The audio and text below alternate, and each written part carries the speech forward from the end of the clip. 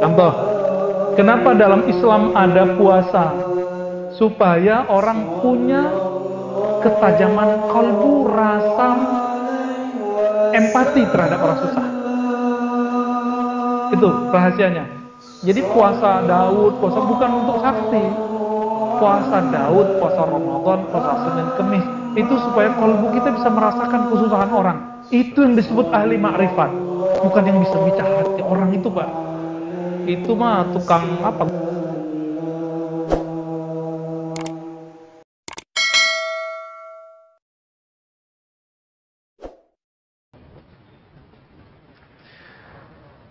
Mari kita buka kajian kita dan baca surah Al-Fatihah. A'udzubillahi Bismillahirrahmanirrahim. Iyyaka na'budu wa iyyaka nasta'in. Shiratal mustaqim. Shiratal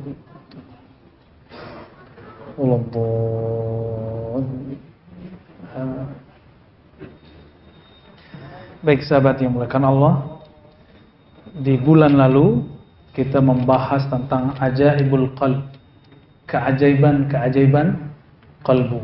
Tapi keajaiban di sini berarti keunikan kalbu.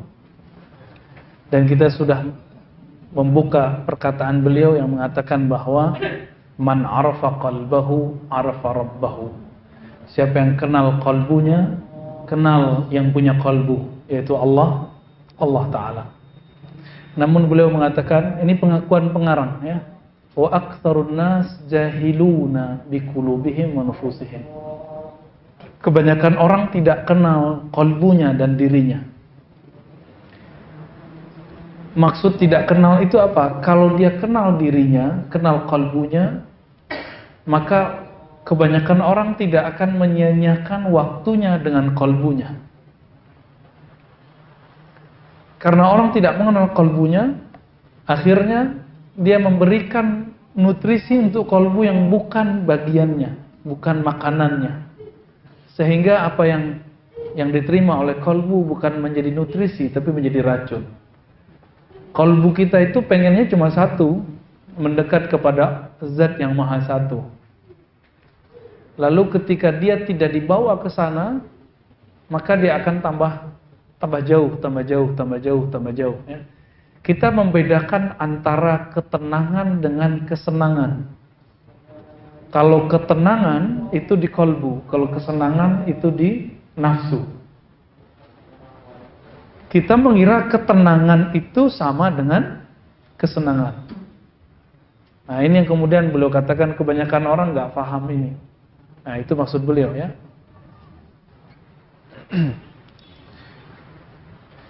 Sekarang kita boleh masuk ke bab yang baru, kitab Riyadhatin Nafs. Bab mengenai riyadah. Riyadah artinya latihan. Riyadhatun nafsi. Latihan jiwa.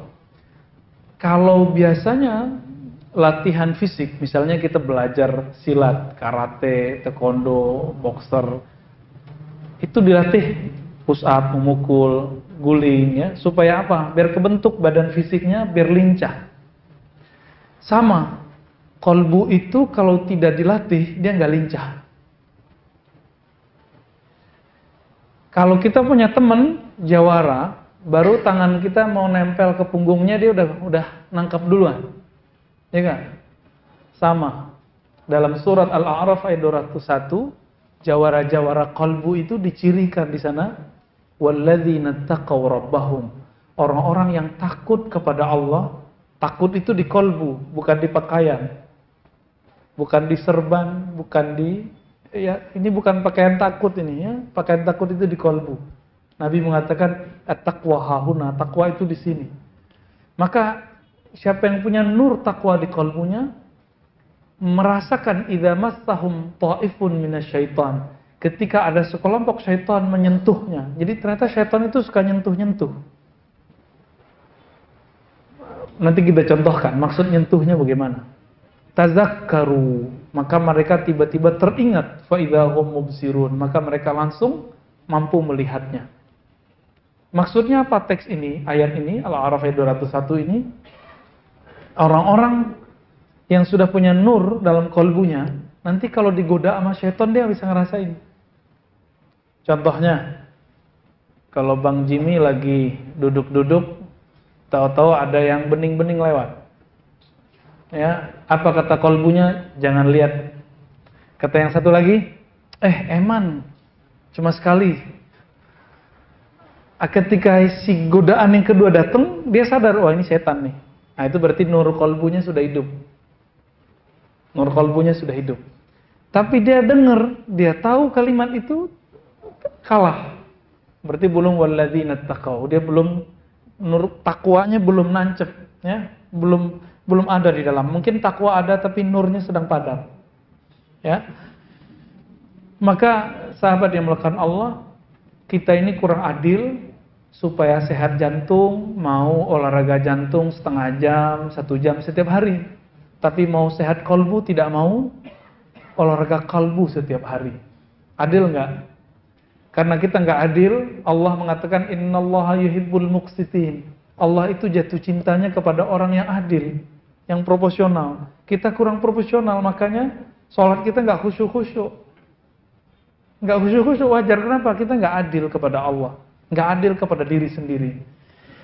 Maka beliau membuka sebuah uh, judulnya, ya, Riyadatun Nas wa Tahzibil Khuluqi wa Mu'alajati Amradil Qalb.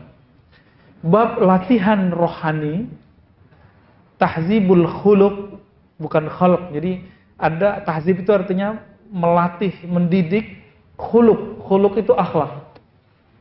Kalau khuluk nggak bisa dirubah kecuali operasi.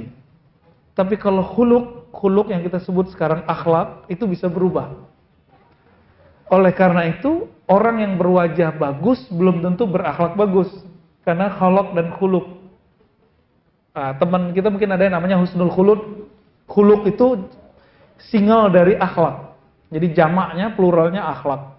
Udah jadi bahasa Indonesia ya? Akhlak. Ternyata ada latihannya. Latihan untuk misalnya sabar itu ada latihannya. Latihan supaya bisa tahajud tiap malam itu ada latihannya. Wa mu'alajati amradil qalb. Lalu terapi kolbu, terapi penyakit-penyakit kolbu. Oh ternyata di sini ada tambahan lagi. Penyakit kolbu itu mirip dengan penyakit fisik. Kalau kita sakit fisik, kita tidak menikmati makanan. Benar nggak? Maka ketika orang punya penyakit kolbunya, dia tidak akan menikmati hidangan rohani. Nggak menikmati hidangan rohani. Ke, kalau begitu, diobati dulu atau langsung dikasih nutrisi. Jadi orang-orang yang sakit itu langsung dikasih daging atau diobatin dulu. Diobatin dulu ya kita langsung kasih nutrisi, makanya muntah lagi. Itu sebabnya orang-orang munafik itu tidak akan bisa langsung didakwahi, dia cuma bisa diingatkan dulu, diobatin dulu kolbunya. Nah, maka Imam Abdul Hasan Syadili malam tadi di MRBJ 9 yang kita kasih tahu, Syekhuka gurumu itu bukan yang nyuruh-nyuruh kamu amalkan ini, amalkan ini bukan. Tapi gurumu itu yang mengerti dosis-dosis rohanimu sehingga ketika memberikan amalan, takaran-takarannya seperti dokter mampu memberikan dosis-dosis obat.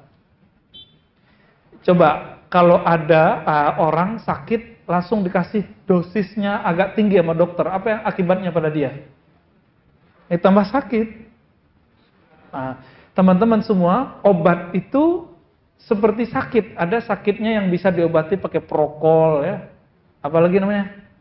Yang buat sakit pala tuh ya panadol apalagi kita bukan iklan loh ya ya gitu itu nama-nama itu nggak perlu pakai resep dokter cuma jangka waktunya hanya tiga hari ya kan udah ditulis di situ.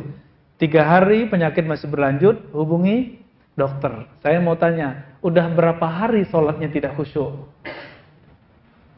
Udah berapa lama zikirnya tidak nikmat? Sudah berapa lama baca Qur'annya nggak lezat? Tapi kok nggak pernah dikonsultasikan ke dokter kolbu. Makanya nggak sembuh-sembuh. Kalau sudah parah, kita nyebutnya apa? Bukan akut lagi, kronis ya. Ya, kalau sudah parah begitu, tentu inapnya lama. Ya. diinapkan. Makanya sahabat-sahabat Nabi itu karena mereka kolbunya sehat, Nabi mengajarkan di awal-awal itikaf di awal Ramadan. Nabi mau selesai 20 Ramadan lalu kemudian dapat wahyu bahwa Lailatul Qadar munculnya di akhir akhir bulan, maka belum lanjut lagi. Jadi pernah Nabi itu iktikaf penuh. Pernah juga 20 hari dan yang paling sering beliau lakukan 10 hari 10 hari. Iktikaf itu latihan kolbu Pak sebenarnya bukan pindah tempat tidur. Ini itikaf kita masih pindah tempat tidur kan? Oh, apalagi itikaf kita kadang-kadang cuma pindah tempat ngobrol, ya kenalan lagi, ngobrol lagi, ceramah lagi. Kalau itikaf gak usah banyak-banyak ceramah, banyakin amal. Karena aku udah kebanyakan ceramah kan? Kecuali emang udah jadwalnya di masjid ceramah, udah kita biarin. Tapi gak jangan banyak-banyak lagi. Nabi itu kalau itikaf off ngajar, nggak ada cara ngajar lagi. Yang beliau lakukan cuma mendidik jiwa. Ketika menantunya dan anaknya belum bangun digedor-gedor. Bangun Ali, bangun Fatimah, dibangunin. Jadi Nabi itu betul-betul se seperti seorang trainer. Nah, maka di sini akas ada sebuah istilah Asy-Syaikh Al-Mursyid lil Murid. Ini kitab bukan kitab tarekat ya. Ini kitab tentang terapi kolbu Imam Ibnu Qudamah ahli hadis Al-Maqdisi, mazhabnya Hanbali, bukan Syafi'i. Ternyata beliau ini berguru kepada keluarga Al-Maqdisi yang mereka punya akses kepada Syekh Abdul Qadir Al-Jilani. Hasilnya ini nih kitabnya. Jadi semuanya punya akses ke sana karena sama-sama Hanbali. Syekh Abdul Qadir Jilani Hanbali dan rata-rata keluarga Al-Maqdisi itu Hanbali ya. Apa kata beliau? I'lam annal khuluqal hasan sifatul anbiya was. Ketahuilah bahwasannya sifat baik, akhlak terpuji itu adalah pakaiannya para nabi dan. Siddiqin itu ulama-ulama. Akhlak yang baik. Maka Nabi itu bukan mewarisi gelar doktor LCMA. Nabi tidak mewarisi kemampuan baca kitab. Nabi mewarisi akhlak. Ada orang pintar baca kitab, tapi kalau di mimbar, mimbarnya menakutkan Pak jadinya Pak. Berarti dia belum mewarisi akhlak Nabi, baru pintar baca kitab. Ada orang dia mewarisi ilmu fikih Nabi, tapi tidak mewarisi keramahannya Nabi Sallallahu Alaihi Wasallam. Saya sering cerita masih ingat orang yang nipisin masjid itu secara fikih haram, tapi secara akhlak itu dibiarin. Karena Nabi membiarkan mereka, akhirnya esok-esok semua Arab Badui masuk Islam. Semua Arab Badui masuk Islam. Jadi ngalah sekali supaya menang beribu kali. Itulah Nabi Sallallahu Alaihi Wasallam. Jadi akhlak kenabian itu nggak selalu menang sendiri. Nah, kalau kita sudah mewarisi ini, sudah lengkap sudah warisannya. Ya. Al-waris Muhammadi disebut. Sebaliknya, akhlak yang buruk itu beliau sebut samun qatilun. Adalah racun yang membunuh. Yang dibunuh bukan fisik ini, tapi yang dibunuh adalah kalbu. Kalau kalbu sudah sakit, tidak nikmat. Kalau sudah mati, nggak ada rasa. Nah, kalau sholatnya udah nggak ada rasanya, hati-hati itu. Ya, jangan-jangan sholatnya, sholatnya orang yang sudah mati kolbunya. Nah, jangan sampai ya. Maka beliau memulai dengan bab fadilatu husnil khuluqi wa zammi su'il khuluq. Keutamaan berakhlak baik. Apa kata beliau? takallamu fi husnil khulqi mu'taridina li samratihi la li haqiqatihi ya para ulama sudah banyak membicarakan tentang akhlak yang baik namun mereka lebih banyak berbicara tentang buahnya efeknya tapi belum berbicara tentang hakikatnya maksudnya apa ya lalu beliau menjelaskan bahwasannya khuluk seperti yang saya katakan di awal khuluk itu dapat dipandang dengan mata batin kita semua punya Pak. Kita sekali lihat orang punya jadi juri, oh ini orang baik nih. Nah, itu yang kita lihat bukan mukanya, tapi akhlaknya. Itu Bapak Ibu, ikhwan akhwat sahabat semua, kita memandang bukan pakai mata ini, tapi lagi pakai kolbu. Pernah nggak melihat ada orang gagah, cantik, tapi kita bilang ini orang jahat nih? Pernah? Nah, itu yang ngomong kolbu. Yang disebut dalam bahasa Arab basirah. Berarti kita sudah bisa membedakan kegagahan fisik, kecantikan fisik bukan berarti cantik rohaninya. Coba bandingkan. Betapa kita setiap hari merawat wajah ini. Benar gak? Bagi bagi mbak-mbak ya, mas-mas kayaknya kurang. Kalau perempuan setiap hari pakai bedak, pakai pembersih. Bang Adi udah ketawa-ketawa tuh ya. Masuk nggak? Perempuan dan itu normal. Kalau laki-laki begitu nggak normal. Tapi kita coba lihat Apakah semua perempuan yang kulitnya halus itu kata-katanya halus? Enggak. Apakah semua perempuan yang di bleaching apa tuh ya, putih, ada yang udah putih pengennya agak sawo mateng. Tapi ternyata walaupun halus kulitnya, cantik, rupawan, rupawati ya, ternyata pas dia ngomong kita kaget, belagu gitu. Ya. Pas kaget keluarnya kodok. Ya, Pas kaget keluarnya ayam. Itu nggak cantik. Maka al-jamal jamalul qalb. Kecantikan itu adanya di kolbu. Bandingkan cantiknya Khadijah, Sayyidatuna Khadijah radhiyallahu taala anha dan Aisyah. Aisyah gadis nggak? Satu-satunya istri Nabi yang gadis kan cuma Aisyah. Artinya Nabi emang nggak pemburu gadis, Pak. Nabi itu dititahkan oleh Allah nikah, maka Nabi nikah. Jadi Nabi nikah itu bukan karena kehendak dirinya, tapi karena perintah dari dari Allah. Ketika terakhir menikah dengan Zainab binti Jahaz, turun lagi ayat tidak boleh dinikah. Nabi nggak nikah lagi. Padahal saudaranya dari kalangan Nabi, Nabi Allah, Nabi Sulaiman, berapa istrinya? 600 plus 400. 1000 Nabi Bani Israel. Yang sekarang orang-orang yang beragama uh, ikut Israel, baik Israel Aisyah atau Israel Musa, ngejek-ngejekin kita. Muhammadmu hypersex. Eh, siapa yang hypersex? Ya. Kalau Nabi mau, istrinya berapa? Seribu dong, seharusnya. Tapi Nabi enggak tuh. Ya. Istrinya malah cuma sebelas. Tiga belas cerai dua, sebelas meninggal dua, sisa sembilan.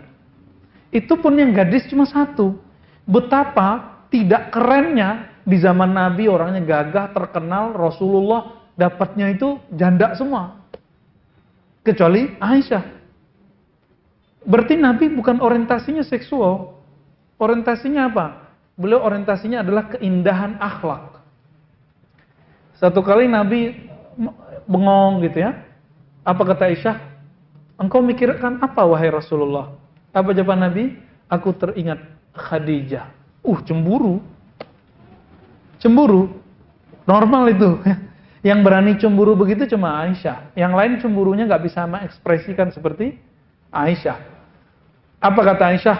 Masa nenek rempong gitu masih diingat? Ya. Berani ngomong begitu. Tapi itu dalam dunia, dunia rumah tangga itu biasa. Biasa kan? Apa kata Nabi, wahai Aisyah, istriku termuda, tercantik. Khadijah itu bersamaku di saat engkau tidak ada. Quraisy sedang menghadangku, mereka sedang mengusirku, sahabat-sahabatku diancam. Lalu beliau menyokongku dengan semua yang dia punya. Makanya kenangan bersamanya tidak bisa hilang. Pertama dapat wahyu, Aisyah nggak bilang, eh Muhammad ente gila, nggak bilang gitu.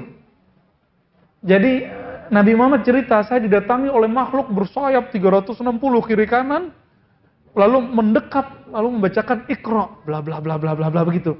Kalau istri-istri sekarang mungkin bilang, Mas, kamu ketemu jin apa sih gitu? Gila nih ya.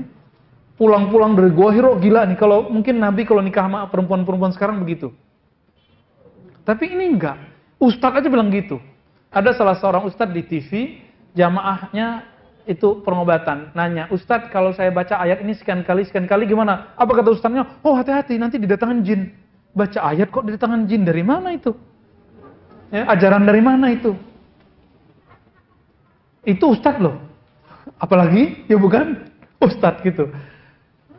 Akhirnya Aisyah sadar diri, disebut insaf, munsifah.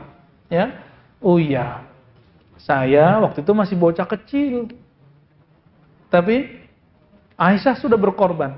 Jadi sahabat yang melakukan Allah, Nabi SAW itu teringat Khadijah bukan fisiknya, tapi teringat akhlaknya. Dapat wahyu malah dikuat-kuatin, kamu non normal, orang baik, nggak mungkin didatangi makhluk-makhluk yang jahat. Begitu muatinnya. Maka siapa yang mewarisi ilmu Khadijah, akhlak Khadijah, dia tidak pernah membuat sedih suaminya. Dia selalu menguatkan suaminya. Ya, kalau pewaris Aisyah beda lagi, cerdas tapi tajam. Perlu juga tuh ya. Maksudnya perlunya apa? Nambah. Bukan, bukan gitu ya. Udah ngeres aja ke sono ya.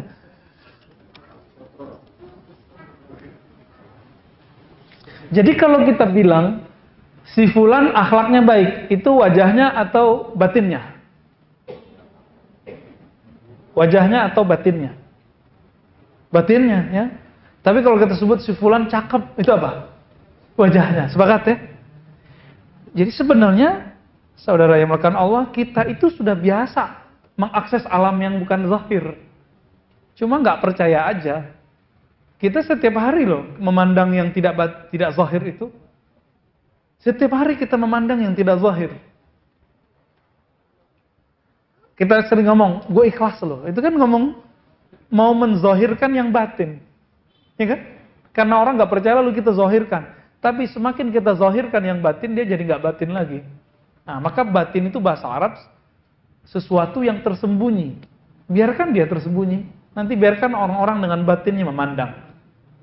Nah. Lalu beliau mengatakan, fal jasadu mudrakun bil basar. Jadi yang saya tanyakan barusan disebutkan sini maka kegagahan pada jasad dapat dilihat dengan mata fisik.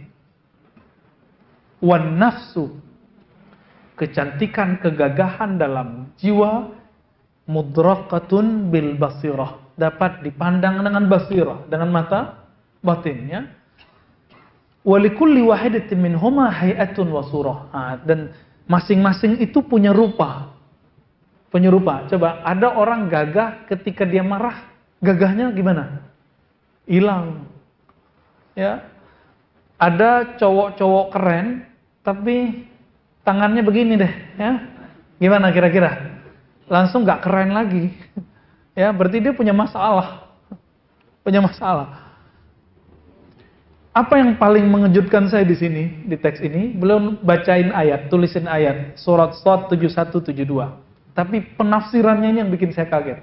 Surat Sad 7172. Ayatnya di, kalau dibaca, Inni khalikun. Sesungguhnya aku menciptakan basharan. Manusia bashar. Bashar itu fisik. Jadi manusia itu terbagi dua. Satu sisi bashar. Bukan bashar asap loh ya. Bashar itu sisi fisik. Mintin dari tanah atau dari saripati tanah. Benar nggak? Antum makan yang dari tumbuhan? Bahkan hewan-hewan itu makan tumbuhan atau makan apa? Makan bulan.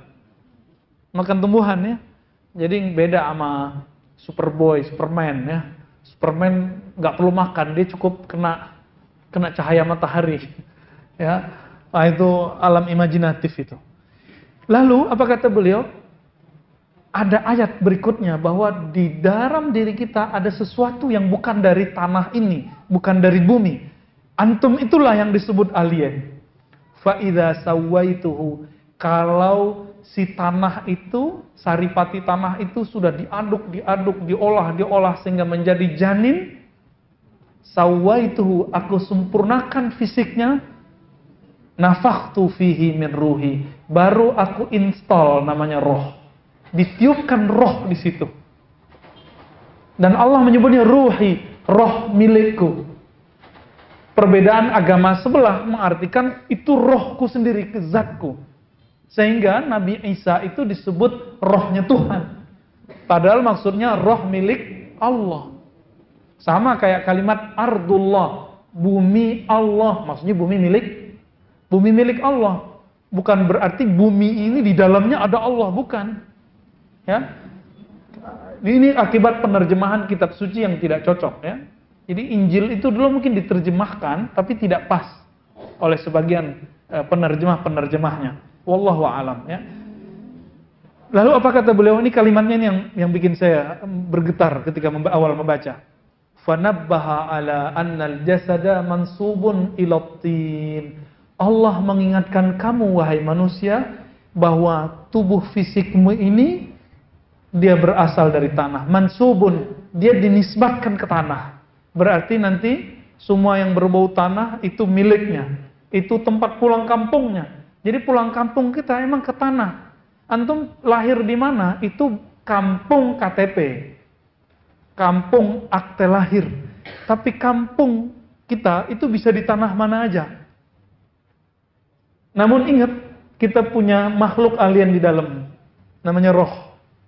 Yang ini kampungnya bukan di Aceh, bukan di Padang, bukan di Jawa, bukan di Sunda, bukan di Kalimantan, bukan. Yang ini bernama roh itu kampungnya di negeri yang lain. Disebutkan di sini. Waruhu mansubun ilaihi.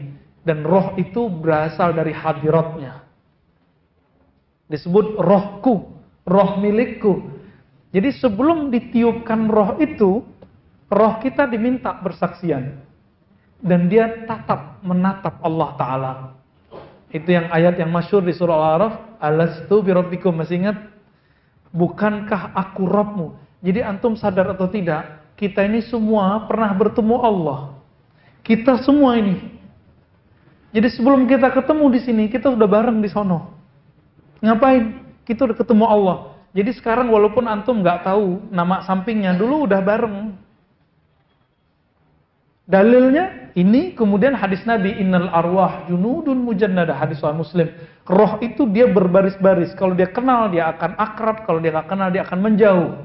Hadis Sahih Muslim. Jadi kita udah ketemu sebelumnya. Cuma sekarang ada yang nggak apal kan namanya. Tapi roh itu bentuknya lebih bagus dari tubuh fisik ini. Lebih ideal di saat itu, di alam roh itulah Allah memuliakan, memberi anugerah kepada semua roh, memandang kepada sumber roh. Jadi makna inna lillahi wa inna ilaihi itu jadi nggak serem sebenarnya. Coba terjemahin. Inna lillahi. Coba terjemahin. Sungguh kami milik Allah. Ya kan? Maksud lainnya, kami berasal dari hadiratnya dari alam roh yang kepunyaannya. Lalu kalimat berikutnya, wa inna ilahi rajun. Lalu kami nanti akan pulang kampung ke hadiratnya.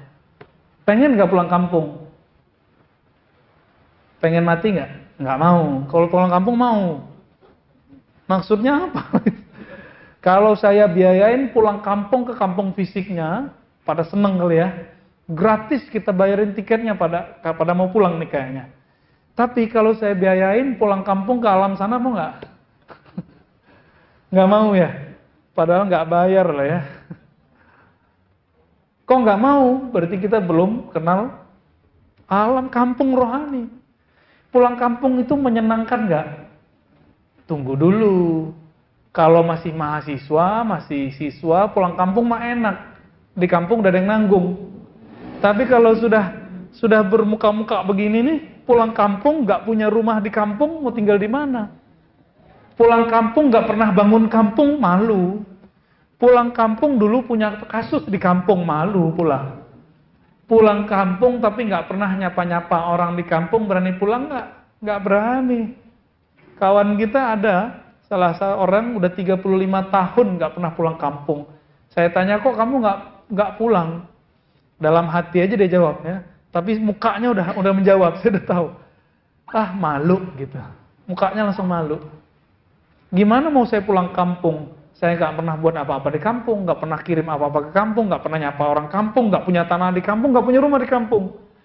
Jadi antum itu sebenarnya kalau mau pulang kampung itu akan senang, pede kalau pulangnya pakai Fortuner atau Alphard gitu ya. Kalau pesawatnya pesawat yang VIP. Jadi kalau orang tanya, naik apa dek? Nggak naik kapal apa tuh kapal yang pakai pisang itu? ya, ya itu nggak pakai kapal getek itu ya. Tapi pakai apa? Uh, pakai pesawat Garuda. Wih, pesawat batik. Kalau yang nggak bawa dikit teman, Lion gitu ya. Udah siap-siap kayak angkot di atas ya. ya muter-muter dulu baru turun. Kita kemudian bangga dengan kendaraan yang kita naiki. Tapi lebih bangga lagi, ini mohon maaf ya, yang paling senang pulang pakai kendaraan itu orang mana? Pakai mobil. Itu orang kampungnya Ustadz Fendi, De, Sandy ini ya. Baru beli Avanza bawa pulang langsung. Beli Karimun aja bawa pulang. Apalagi punya Alphard bawa pulang itu ya semua. Kenapa? Pengen nunjukin ke orang kami jadi jadi tren ya. Bapak ibu saya kan bilang, nah pulang tuh jangan pakai pesawat mulu, pulang tuh bawa mobil. Saya mikir capek pakai mobil. Tapi itu bagi orang tua membahagiakan. Sampai sekarang belum pernah pulang pakai pakai yang kuda kuda roda empat ya, kuda Jepang itu ya, kuda logam apa kuda besi apa sih namanya? Belum pernah, karena bagi saya untuk apa sih gitu? Nggak penting amat sih. Gitu. Tapi bagi orang tua itu membanggakan. Maka teman-teman semua, ini mirip. Mau pulang kampung disambut pede bahagia nggak? Apa kata Nabi? Mau bikin rumah villa di kampung rohani? Nabi mengatakan, "Man shalla isnatai asyrata raq'atan." Siapa yang sholat 12 rakaat setiap hari, banallahu lahu baitan fil jannah. Allah bangunkan satu istana di surga. Satu villa di surga. Mau? Jadi sholat sunatnya jangan kurang di luar tahajud nih ya. Di luar tahajud kita punya 12 rakaat. Itu yang disebut rawatib. Kalau nggak bisa kejar sunat rawatib, ya kejar di duha. Nggak bisa di duha, ya di sholat sunat mutlak. Masih ingat Ali Zainal Abidin bin Husain, anak Husain, itu karena dia ditahan tahanan rumah, nggak boleh keluar, kerjanya cuma zikir, sholat, zikir, sholat. Berapa rakaat dia sholat tiap hari? Seribu rakaat. Coba bagi 12, sudah berapa tuh? 120 ya? 120 villa tiap hari. Gila itu ya. Itu tajir banget tuh. Kalau pulang, maka Nabi mengatakan, ini level anak-anaknya Husain. Nabi mengatakan, Husain sayyidah syababi ahli jannah. Husain itu ayahnya Zainal Abidin adalah pemimpin pemuda-pemuda yang masuk surga. Kabar gembiranya antum yang sudah ubanan, yang sudah keriput, yang sudah ompong, itu nanti jadi pemuda semua. Dan pemimpin kita bernama Husain, Hasan. Ya. Anaknya Husain setiap hari berapa? Seribu. Gimana kalau Husain itu saya nggak tahu.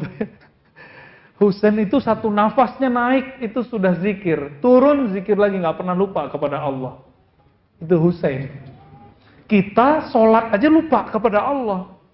Gimana mau bangun? Jadi udah bangun rumah di surga, tapi keropos baru tiga hari lon runtuh.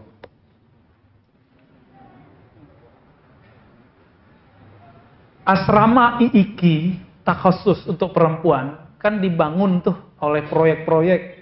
Kontraktornya jahat sekali.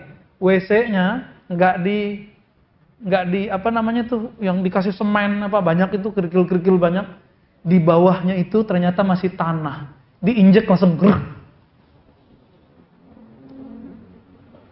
itu baru belum lama ya. Kebakaran asrama Iki masih ingat nggak sebelumnya penghafal-penghafal Quran dari kalangan perempuan itu asramanya, Mbak, jadi si pemberi dana oke, okay, kontraktornya kurang ajar. Hmm? Mungkin kontraktornya bener, tapi tukangnya kurang ajar. Itu. Nah, makanya kita kalau beramal itu betul-betul detail, diliatin, dipelototin pakai kolbu satu-satu. Jangan cuma merhatiin takbir Assalamualaikum doang.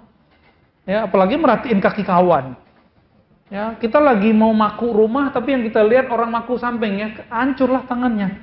Ini ilustrasinya. Orang-orang yang membangun rumahnya di surga tapi dia tidak memperhatikan bahannya, kualitasnya, baru sehari udah roboh.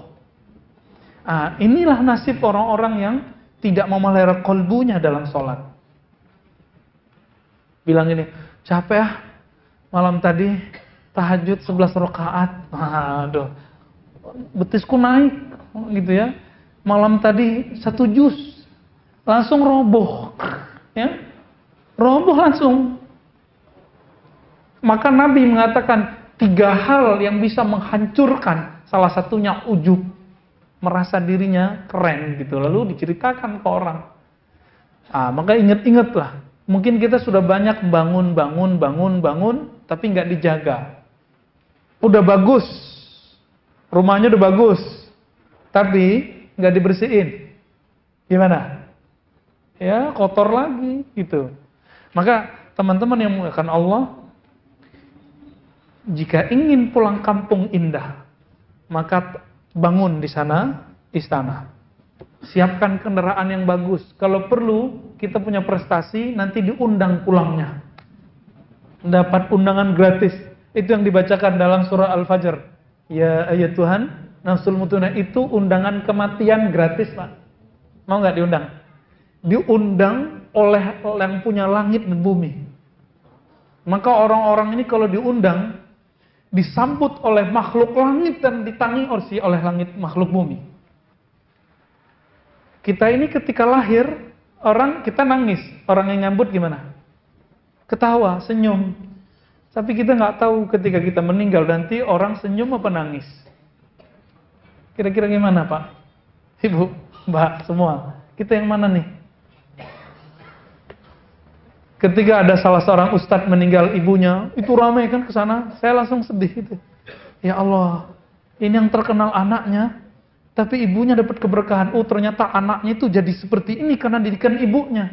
Poin, ketika meninggal itu ribuan orang datang, sholat gaib di mana-mana, dapat keberkahan. Kita mikir, kita yang dakwah-dakwah ini yang mana nih ya?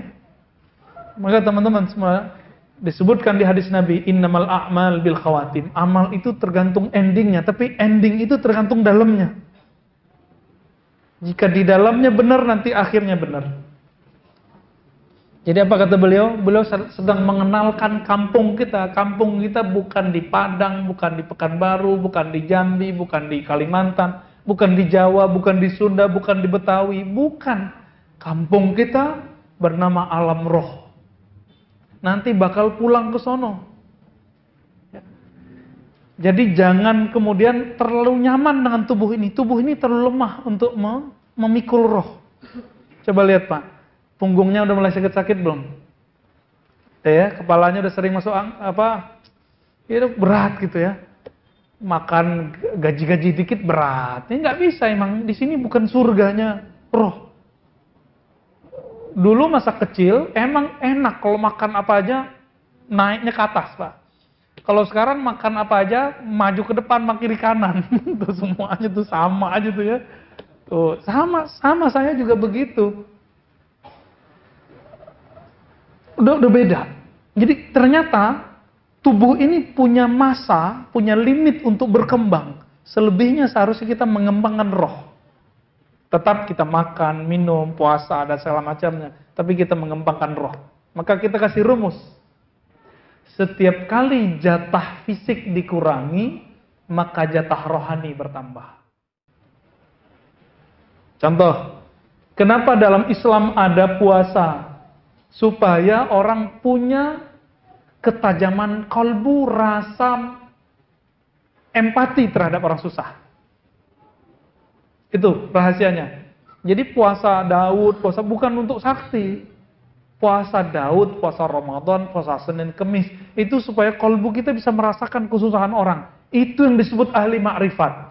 Bukan yang bisa bicara hati orang itu Pak. Itu mah tukang apa gosip itu ya. Sok tahu baca hati kita. Itu untuk apa? Tapi orang yang kata Nabi, la yu'minu ahadukum, kamu nggak sempurna imannya. Kamu tidur kenyang, tetanggamu tidur kelaparan. Orang yang ngerti itu, itu yang disebut ahli makrifat. Itu yang disebut ahli torikot. Itu yang disebut ahli ma'rifatullah, ahli hakikat itu. Yang kan sekarang orang banyak ya. Saya lihat e, beberapa sahabat kita udah mulai kajian syariat, tarekat. Aduh, serem amat sih bahasannya. Ya.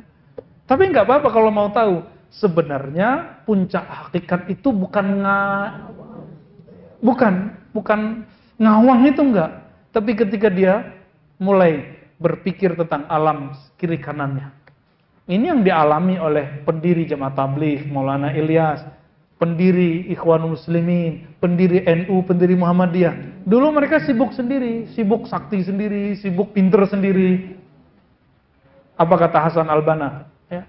Saya belajar torikot, has, apa hasafiyah, cabang dari Syaziliyah. Tapi orang torikot itu sebagian, nggak semua, sibuk sama dirinya.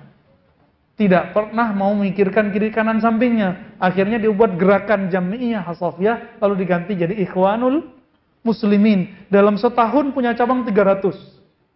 Baru setahun. Gerakannya betul-betul ya seperti NU di Indonesia dan Muhammadiyah. Betul-betul persis sama. Dan mereka sama-sama Syaziliyah. Hadratus Syekh Hashim Ash'ari rahimahullah itu Syaziliyah sama. Kita punya sanatnya dan kita lihat oh Syaziliyah toh, ya. Jalurnya ke Mahfud, Syekh Mahfud Termasi terus nyambung ke Abdul Hasan Syadili.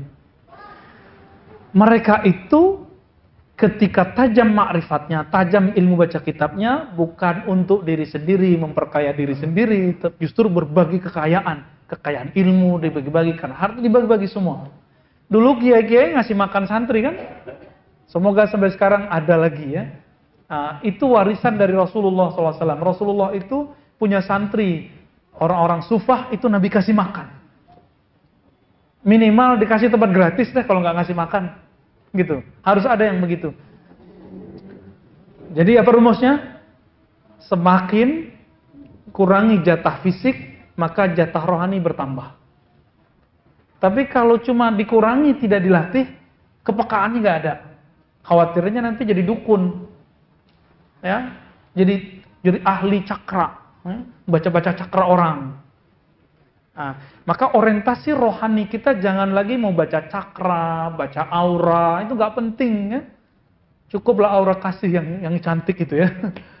Gak usah kita baca-baca aura orang, gak penting. Apa kata Allah? Wa fi anfusikum afala tubsirun. Yang perlu kamu baca itu auramu, dirimu, jiwamu. Surat Zariyat ya.